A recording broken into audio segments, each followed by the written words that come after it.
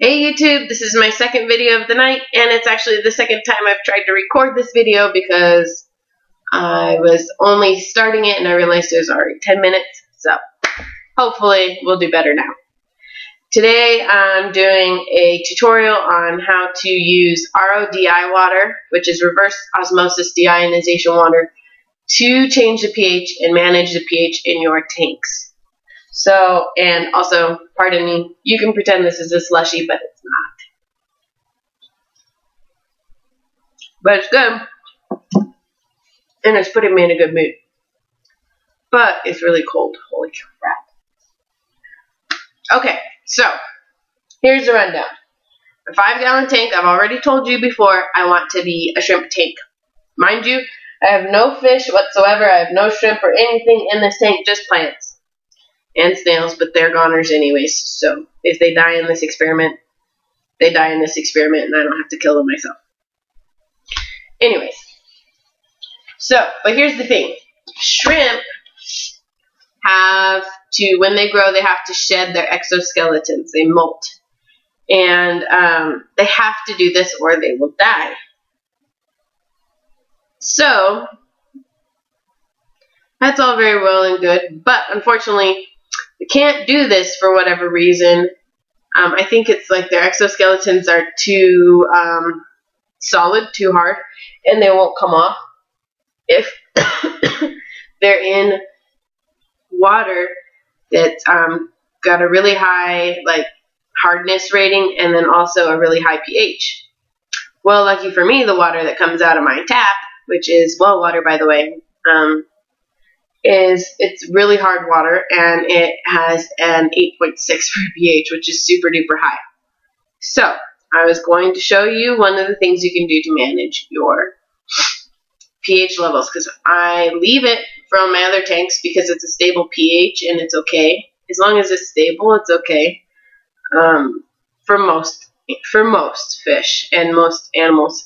Um, as long as it's, it's more important for it to be stable than for it to be at a certain number. But with shrimp, it definitely needs to be lower than what I've got. So, enter the RODI water.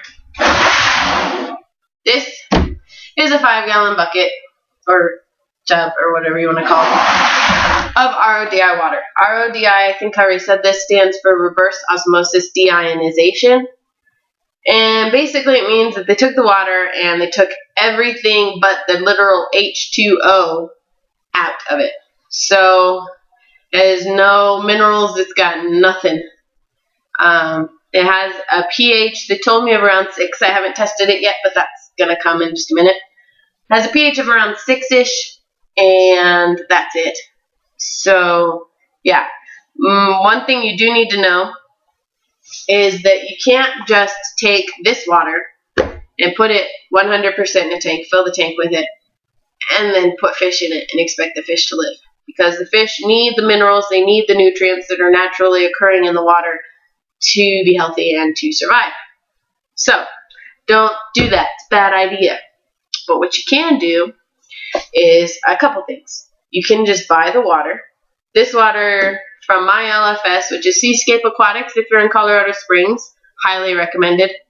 Um, they charge 25 cents a gallon for it. So if you have a big tank, I guess it would add up, but I'm not doing anything with my big tanks, just my five. So 25 cents a gallon.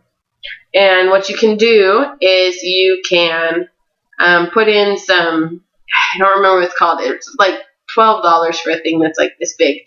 Um, but it's like this powder, and basically it just reclaims the water. It puts it straight at a 7.0, and it puts all the nutrients that you need into it right away, automatically. Sorry, I've got stuff all over the floor here.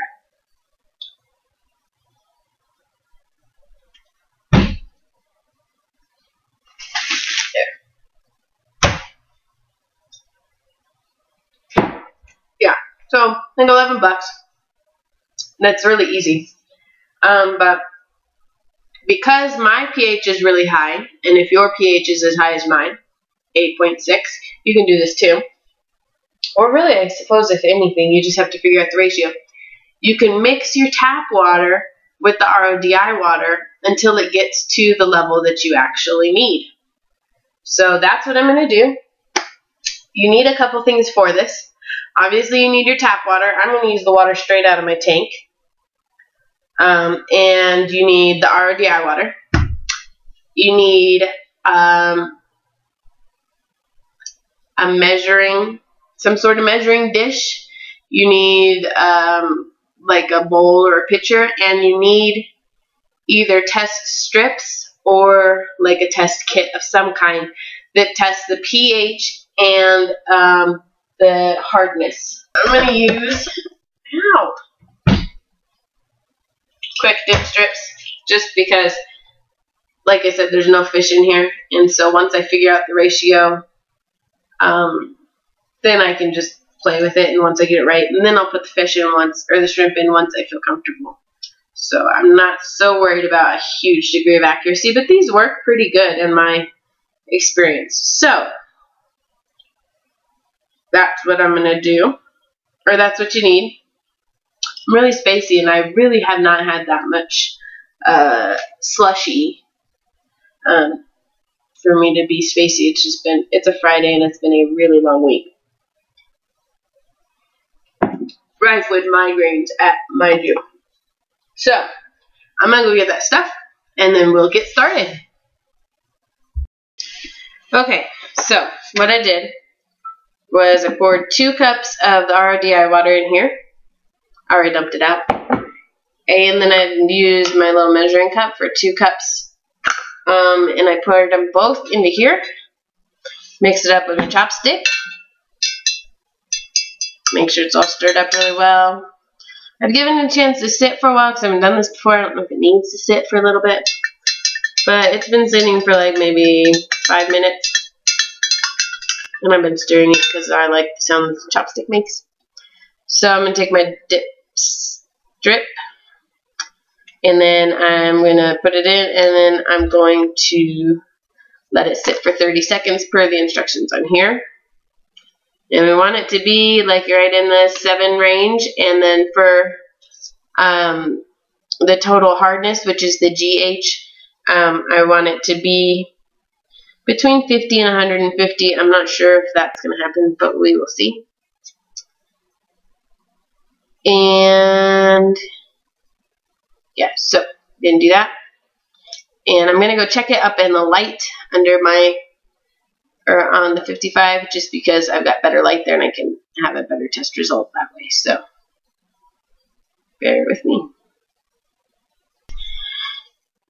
Okay, so it worked. So for me, all I really needed to do is half and half. Um, you might have to tweak yours and check it a couple different times and see what happens.